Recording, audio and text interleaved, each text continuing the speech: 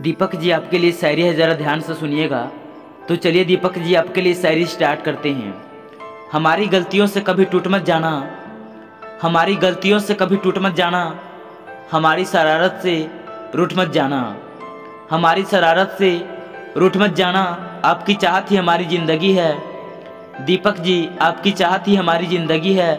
ज़िंदगी में कभी हमें भूल मत जाना। ज़िंदगी में कभी हमें भूल मत जाना। दीपक जी।